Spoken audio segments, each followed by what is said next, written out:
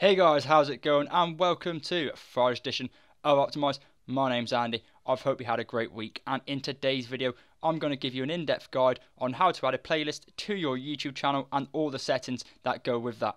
So out the way, let's get started. So first off, you want to go to where it has your channel name. Mine says Optimize, and below here you'll have a number of tabs. You want to click on the one next to videos and between channels and click on playlists. Once you've opened up your playlist screen, it will show you all the playlists that you have on your YouTube channel. I have one, which is the Optimized YouTube Tips playlist. This is where all the videos that I make for this channel get stored. And as you can see, it is showing 18 videos. Now to create your playlist, you want to go up to the top left, and it'll say create a playlist with a button next to it. Click that one and to create your new playlist. First off, it'll ask for your playlist title. So I'm going to put new playlist. And below here, on the bottom left, you have a setting that says public. If you click on that, there are three settings in which you can have for a playlist. Public, that means it's publicly available to everyone to see. Unlisted, which means it won't show on your page, but you can share the link to the playlist so people can see it. And private, this is completely private and nobody else can see this playlist on your YouTube channel. Up for this video, I'm going to set mine as public and click create. Now once you've done that, YouTube will then create your playlist. You now have even more options available to you. The first one, you can edit the name of your playlist. And below, you can add your playlist description. I always advise to add a description, include your keywords, your channel tags, anything that is involved with your channel for this playlist will help search results for your content. And below here, you have the playlist settings. If you click on this, you'll have a number of settings that come up. You have the basic playlist settings. First off, you have the playlist privacy. Much the same when you collect your playlist, you can set it as public, unlisted, or private. And below here, you got your ordering.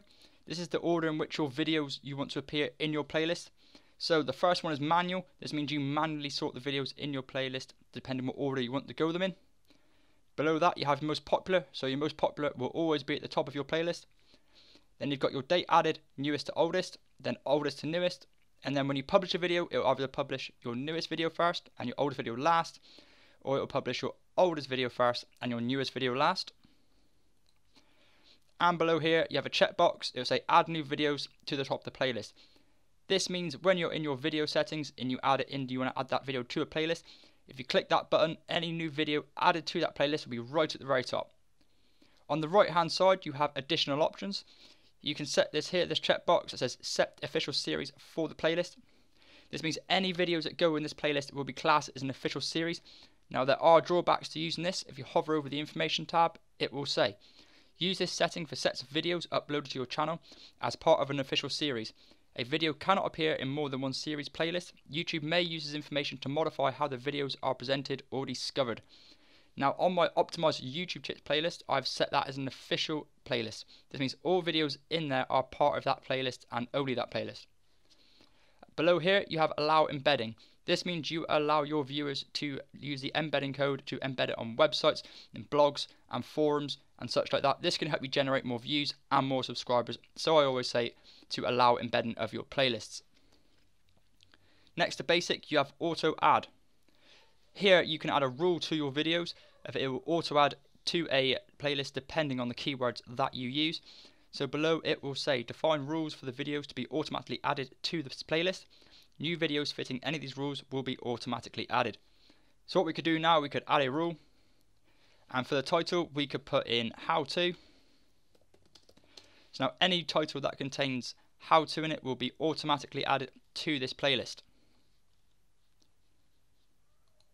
And once you've done that, that'll be your playlist setup. And if you want to delete the playlist, it's very simple. You go down to the very bottom left of the pop-up box and click delete playlist. It will then come up with a confirmation say, are you sure you want to delete the new playlist? And it'll have a disclaimer and a note saying deleting playlist is permanent and action cannot be undone. So once you delete that playlist, you cannot get it back. If you have videos in that playlist, it will also tell you if you delete this playlist, all these videos could be deleted with it. Now to confirm the deletion, you click on the big red button and say yes, delete it.